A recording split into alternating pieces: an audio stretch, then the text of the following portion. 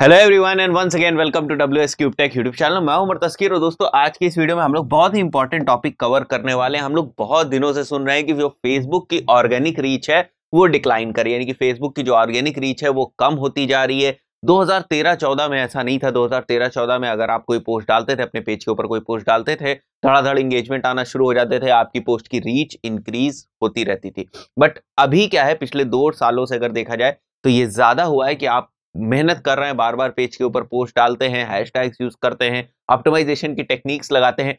उसके बाद भी आप क्या देख रहे हैं कि जो ऑर्गेनिक आपको ग्रोथ मिलनी चाहिए ऑर्गेनिक जो रीच मिलनी चाहिए, वो उतनी नहीं मिलती है, वो डिक्लाइन हो रही है, ठीक है? तो कुछ एक दो रीजंस हैं इसके पीछे। आज मैं उन रीजंस की बात करने वाला हूँ। चलिए शुरू करते हैं।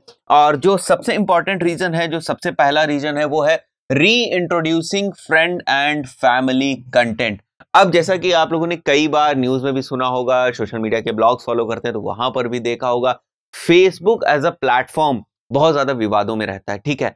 अगर बात करें एक डेढ़ साल पहले की तो भी वहाँ पर कैम्ब्रिज एनालिटिका प्राइवेसी डेटा इन सब चीज़ों को लेकर बहुत से इश्यूज़ हमेशा फेसबुक के साथ रहे। तो फेसबुक ने क्या कहा कि मैं अपने एल्गोरिदम को एक बार फिर से थोड़ा सा चेंज कर रहा हूँ और इस बार जो हमारा एल्गोरिदम होगा, वो मेन फोकस करेगा किस चीज़ के ऊपर? फ्रेंड्स एंड फैमिली कंटेंट के ऊपर। अब फ्रेंड्स एंड फैमिली कंटेंट क्या है? मतलब उन लोगों का कंटेंट आपकी न्यूज़ फ़ीड में पहले दिखाई देगा जो आपसे डायरेक्टली कनेक्टेड है, आपके फ्रेंड्स हैं या आपके फैमिली अब फ्रेंड्स फैमिली कैसे हैं? आपको याद होगा, अगर आप यूज़ करते हैं फेसबुक के प्रोफ़ाइल को अच्छी तरीके से यूज़ करते हैं सारे ऑप्शन यूज़ करते हैं तो आपने देखा होगा, आपको फैमिली का भी सेक्शन वहाँ पर दिखाई देता है, ठीक है? तो अब फैमिली और फिर फैमिली के जो पर्सन है, उनसे कनेक्टेड लोग तो वो जो नेटवर्क बनता है, ठीक है? फैमिली का रिलेटिव्स का फ्रेंड्स का, ठीक है? उन नेटवर्क उस नेटवर्क का जो कंटेंट है, वो लोग जो कंटेंट डालेंगे, वो आपकी फ़ीड में प्रायोरिटी पे दिखेगा। ऐसा फेसबुक ने डिसाइड किया, वो इसलिए क्योंकि डेटा वगैरह का इशू है और वो चाहता है कि जो फेसबुक का प्लेटफॉर्म है जिस तरीके से उसकी शुरुआत हुई थी, एक सोशल नेटवर्क की तरह। भाई, वो मार्केटिंग प्लेटफॉर्म की तरह नहीं डेवलप हुआ था। आज हम देखते हैं बहुत सारे एड्स जो है वो फेसबुक के ऊपर चल रहे हैं बट शुरुआत में जब फेसबुक आया इंट्रोड्यूस हुआ, तब वो एक तरीके का सोशल नेटवर्किंग प्लेटफॉर्म था। मतलब more of the social networking platform था।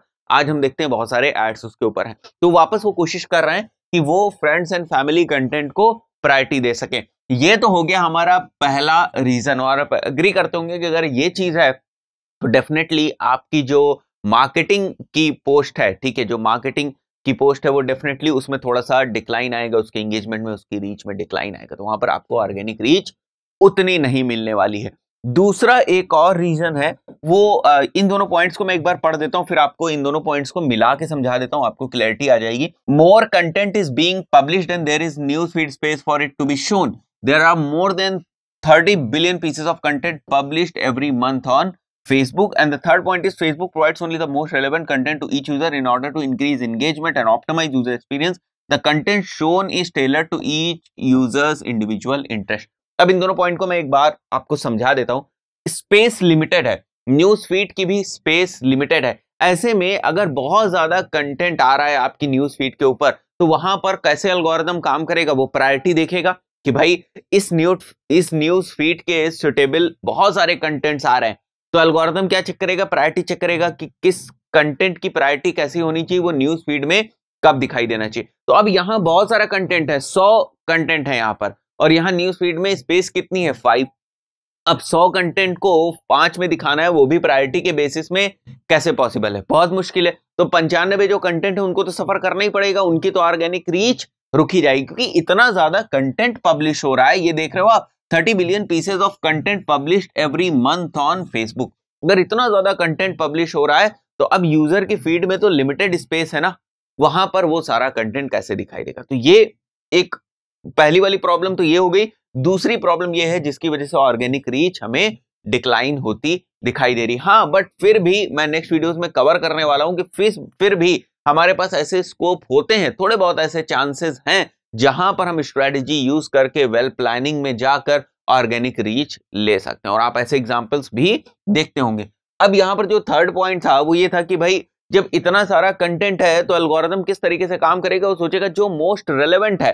किसी भी न्यूज़ फ़ीड के अकॉर्डिंग किसी भी यूज़र के प्रोफ़ाइल के अकॉर्डिंग उसके इंटरेस्ट के अकॉर्डिंग उसका जो बिहेवियर है सोशल मीडिया के ऊपर उसके अकॉर्डिंग उसने जो पेजेस लाइक रख, कर रखे हैं उसके अकॉर्डिंग वो जो एंगेजमेंट करता है उसके अकॉर्डिंग जो उसके सबसे रिलेवेंट कंटेंट है, वो दिखाया जाएगा। तो सौ में से पाँच की स्पेस है, उसमें भी प्रायोरिटी बन गई, उसमें भी रिलेवेंसी बन गई तो और चांसेस कम हो गए। तो ये कुछ मिला जुला के कुछ रीजंस हैं, जो ये बताते हैं हमें कि हाँ भाई फेसबुक की जो ऑर्गेनिक रीच है ऑर्गेनिक ग्रोथ है, वो थोड़ी सी डिक्लाइन कर रही है। और अगर आप बिज़नेस हैं तो आपको एड से तो अच्छी ग्रोथ मिल ही जाएगी बट फेसबुक थोड़ा सा इस वक्त इस चीज़ को फेवर कर रहा है कि जो फैमिली और फ्रेंड्स का कंटेंट है, वो उसको प्रायोरिटी दे सके। अब देखो, एक और बात बहुत ध्यान में रखना, ये आप देख रहे होगे, पिछले चार पाँच सालों में फेसबुक का एल्गोरिदम कई बार चेंज हुआ। हमें पहले ऑर्गेनिक रीच मिलती थी, अब नहीं मिल रही है। आगे फ्यूचर में छह महीने बाद, एक साल बाद कुछ और भी हो सकता है, ठीक है? तो आपको कांस्टेंट एक्सपेरिमेंट्स करते रहने मैं बहुत से वीडियोस में आपको बताता हूँ कि social media is all about experiment